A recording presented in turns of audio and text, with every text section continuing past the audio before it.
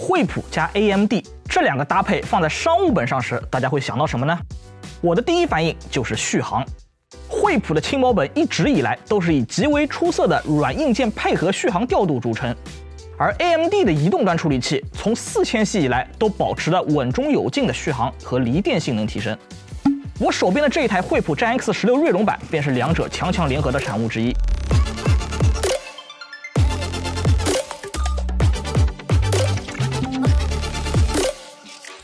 传承经典的外表之下，有哪些值得一看的新内涵呢？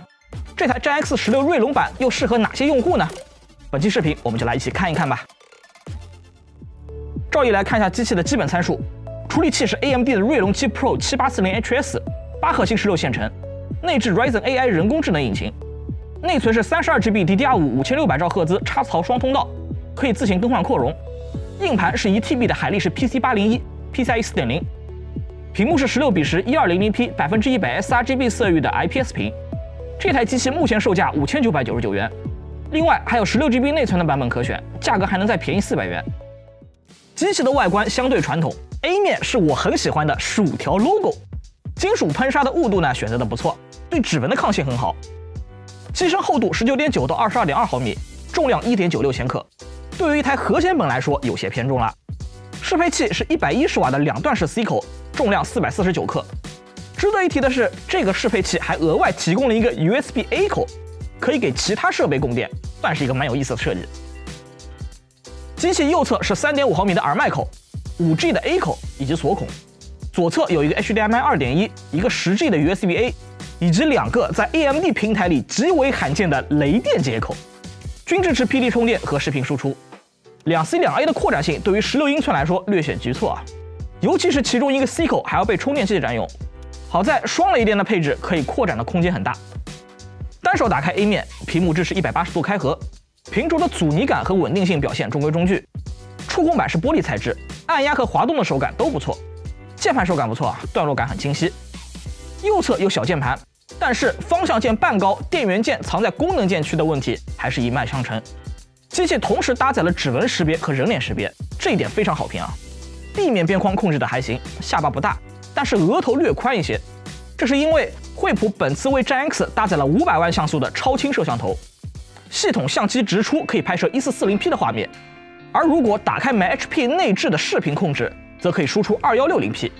考虑到屏幕前的各位可能对于画质的感受不太直观啊，本次呢我们也找来了一台搭载一零八零 P 摄像头的游戏本，以及一个售价四百元同样二 K 画质的外置摄像头进行了简单对比。可以看到，游戏本的摄像头和战 X 十六的焦段基本一致，而外置摄像头因为体积更大，所以视角还能更广一些。不过我个人还是更喜欢战 X 十六的这个视角啊，更适合笔记本常见的视频会议等场景。在画质方面，游戏本 1080P 摄像头就原形毕露了，画面要模糊很多；而战 X 十六的摄像头对比外置摄像头，只有高光部分的压制略差一些，画质呢则毫不逊色。可以说，战 X 十六这颗内置摄像头基本已经能够达到三四百元的外置水准了。对于有较多视频会议或者直播记录生活的用户来说，可以减去一笔外设开支。另外，视频控制中心内还提供了梯形校正、背景模糊、自动增强等功能，还有支持多人同框的自动框选，虚拟背景不需要绿幕就可以实现比较细致的抠图。视频控制中心内还搭载了多摄像头的混合器。支持内置和外接摄像头同时输出并合并画面，还可以通过 AI 算法来实现摄像头的自动切换。前面提到的各类功能也都支持外置摄像头开启，这个功能还是挺有意思的啊！直播的时候不需要导播，也能够快速自动切换到不同的布景。机器内置的麦克风还支持三米半径的降噪拾音，虽然没有办法和正经的麦克风相比，但是人声清晰可辨认还是可以做到的。这两个功能相结合呢，对于经常需要上网课或者直播的用户来说，是一个不错的功能。回到正题，屏幕选用了一块十六英寸的1920乘1200的 IPS，实测屏幕中心最大亮度450尼特，全亮度 DC 调光表现不错，明亮场景下也不会漏怯。色彩方面，屏幕色域容积为百分之一百零五点一的 sRGB，色域覆盖百分之九十九点三的 sRGB，色温拟合六千七百 K，对比度一千五百九十六比一倒是很不错啊，观感通透。但是色准表现不太理想，平均 delta E 一点九二，最大四点三九。如果有色彩相关要求的观众，可能得自行校准一下了。屏幕刷新率是六十赫兹，黑白响应时间二十三点七九毫秒，灰阶四十六点八一毫秒，拖影呢还是比较明显的。接下来便是机器的性能实测部分。战 X 十六锐龙版搭载了 AMD 锐龙七 Pro 七八四零 HS 处理器，使用的是最新的 Zen 四架构，八核心十六线程。落实到 GX 十六上，十五轮的循环分数都非常稳定，维持在一万四千四百分左右。运行功耗可以看到，机器的输出极为平稳，几乎没有任何波动啊。每一轮都会先短暂的触及五十瓦，然后稳定在四十瓦。核心温度在九十二度左右，释放相对中庸一些。不过得益于 Zen 四加四纳米的高能效比，四十瓦对于七八四零 HS 来说也是相对充裕了。运行单核时，处理器频率会被锁定在四点五 G 赫兹。表现在 R 十三当中时，单核分数只有一千五百八十一分。显卡部分则是 Radeon 七八零 M RDNA 三架构，十二组 CU 单元，七百六十八个流处理器，GPU 核心频率可以达到两千七百兆赫兹，搭配五千六百兆赫兹的内存，FSE 得分三千七百九十八分，Superposition 一千七百零一分，Time Spy 两千八百零八分，表现不错。本次照例测试了一些游戏，《地平线五》一零八零 P 低画质下可以达到八十五帧。原神在 1080P 下高画质五十七帧，古墓丽影最高画质则略低一些，只有三十四帧。综合来说，五千六百兆赫兹内存下四十瓦性能释放的7840 HS 表现的还是不错的，对付大部分网游以及低画质三 A 都得心应手，可以满足工作之余的轻度娱乐需要。生产力部分，本次简单测试了一下 PS，一千一百三十五分，并不会构成修图的性能瓶颈，而是如前文所展示的，屏幕的色准影响会更大一些。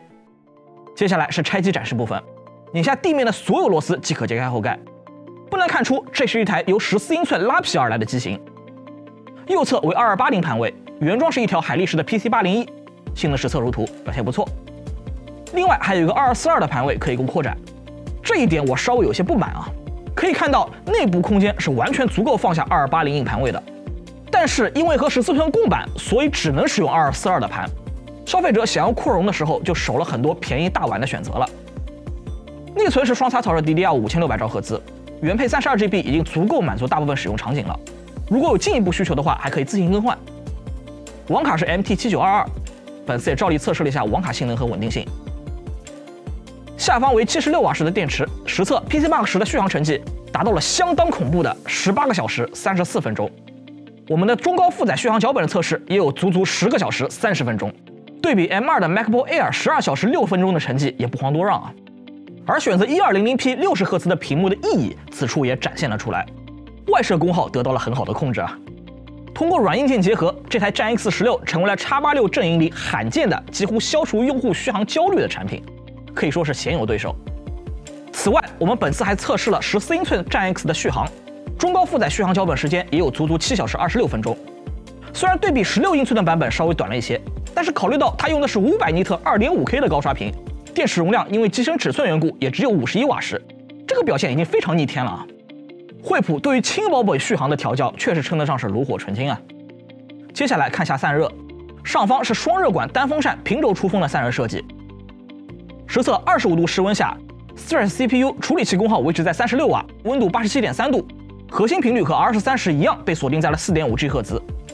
换用压力更大的 Stress FPU。处理器撞上了四十瓦功耗墙，温度八十六点五度，核心频率三点六 G 赫兹左右。表面温度方面，键帽温度最高四十二点八度，出现在了功能键区，温度不算高啊，但是呢热量面积较大，而且偏向一侧。键盘中部到左侧 WASD 键附近都接近了四十度，腕托位置也有三十多度。地面最高温度四十四点四度，热源同样呈现出偏置。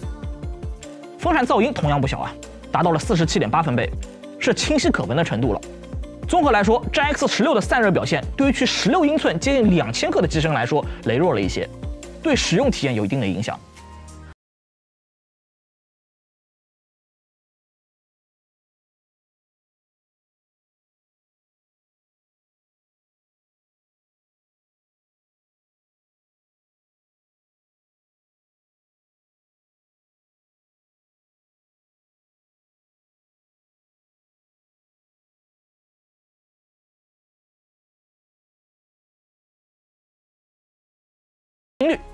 因为这些部分终究只是极简轻薄本的次要使用场景，而战 X 十六锐龙版选择的是牢牢把握住教科书意义上的笔记本，专攻就是外出携带使用，把开会办公作为主要使用场景，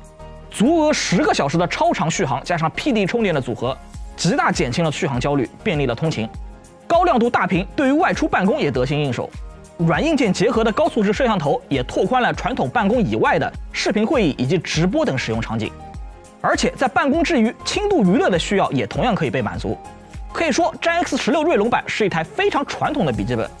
它的优点是因为它足够传统，缺点亦是如此。一个时代固然会需要那些标新立异、探索未来方向的前行者。但是这些陨植其中、默默前行的无言者，也同样是不容忽视的中间啊。